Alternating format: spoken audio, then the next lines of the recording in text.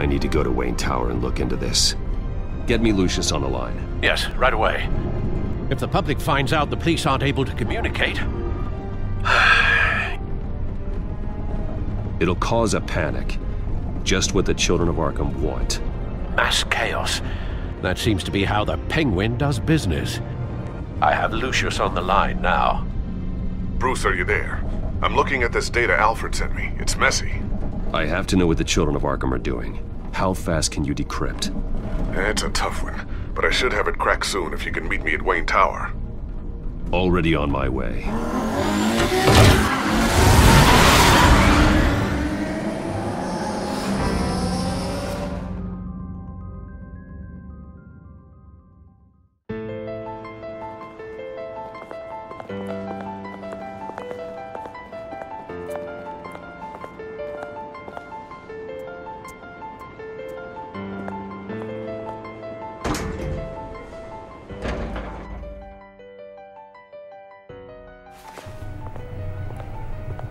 Almost there, Lucius. I'll meet you down in the lab.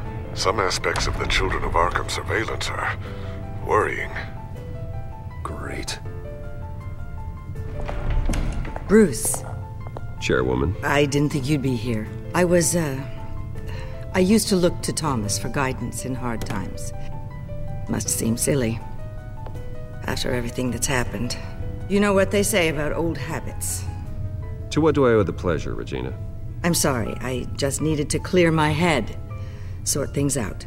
In my office? I know it's irregular, but it's nice to have a reminder of the Waynes every once in a while, in all their glory. I've been called in for an emergency board meeting. I wasn't told about it. You weren't invited, Bruce. You are the topic of discussion for the board. They want to decide what your future at this company will be. Whether to dismiss you or not. You have to understand, Bruce. This company is bigger than any one individual. We have to keep face. And after this scandal, It Makes sense. Logistically. The company needs to separate itself from the Wayne name. it's a cowardly move to look good for the press. I wasn't expecting you to roll over so easily, Bruce. Bruce, I've got something. You need to get down here. Now. I worked with your parents for years, and neither of them gave any indication of foul play. How could you have ever known? Bruce. You're nothing like him, Bruce. We always build up the people closest to us. When they fall, I appreciate the sentiment, Regina. Thank you.